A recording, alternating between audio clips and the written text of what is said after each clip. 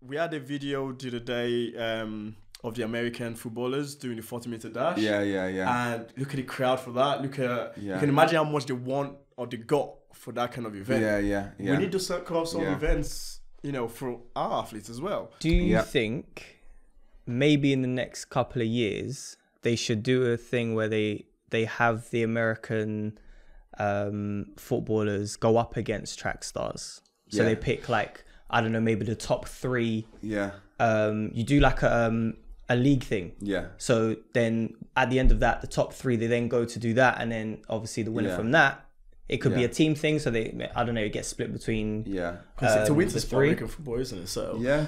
Could you know, work. it's bang. Marquise Goodwin, the long jumper. Yeah. He won a million dollars the other day for winning a 40 yard dash against a handful of picked Ameri- uh, other American footballers. Yeah. Because people just wanted to see who was the fastest. A million dollars for winning a 40 yard race. he can retire. yeah, like Marquise Goodwin, he's a he's an he's a great athlete, Mm. incredible footballer, pretty quick sprinter, but there's probably 200 sprinters on earth that'll Well, beat him. yeah. yeah.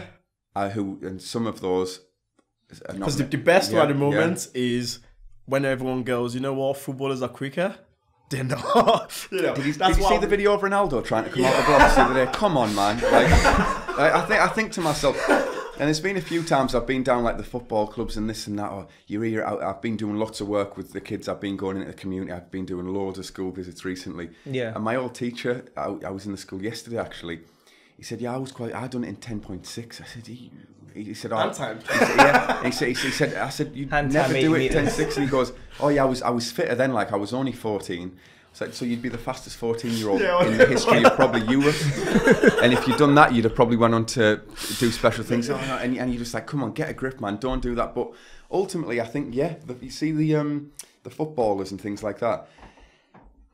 Call them out. That would that would engage people. Call them I, out. I done one with um, Hector Bellerin. He started doing all this Yeah. tweets years ago, and I was sat down. Me and James Ellington, we were about to go training in Florida, and he said, "Why don't you challenge him?" And I thought, you know what, I will. So I got on the Twitter and I just come up with any sum. I thought, right, I'll put thirty k on, and I said. I'll, I'll challenge him at 30k. Basically, the loser has to. I, I didn't want to win his 30k. We Yeah. could have made it. We could have made it a much bigger fee. Thirty thousand to them is not a lot of money. Yeah. We could have even went for No, hundred grand, eight grand, whatever, whatever money, because we'd be that confident of beating them. yeah. It would be almost impossible for them to beat unless we pulled up with a hamstring injury. Yeah. we jog and beat them. They're great footballers, incredible at what they do.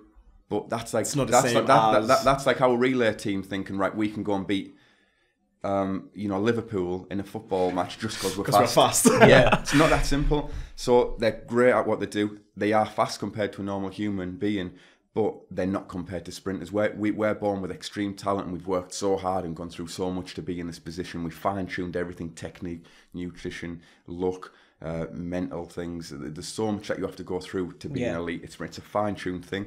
But imagine how many people you would get attracted if, if we said, right, we're going to take Cristiano Ronaldo, Hector Bellerin, Adama Traore, Bale, some of the faster fastest yeah, Gareth likes Bale, uh, and Mbappe, and and we're going to get we're going to put them in a diamond league, or we're going to bring the Great Britain relay team and on the, on a football pitch in Wembley Arena, they're going to see who can win the race. Imagine how many people you would get, would and imagine and watch as well. and that'd be another way. Probably that- fill out the stadium. You get, a rah. yeah. get more exposure. and, yeah, and then we'd get more credit for what we do because we'd beat them by 10 metres, Yeah.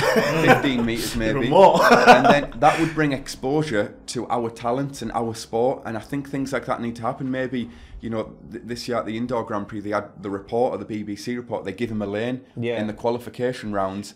Of, give lane one and lane eight to two sports stars, the fastest rugby player in the country, the fastest football, and see how quickly they come off the camera and how, how fast we leave them from the blocks.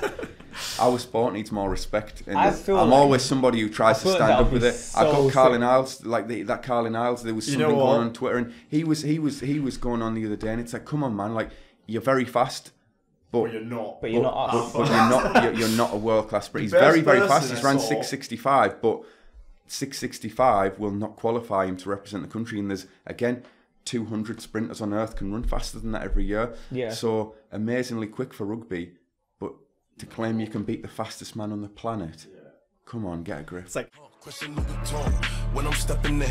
30 bottles of Zoom till I'm sentimental. I had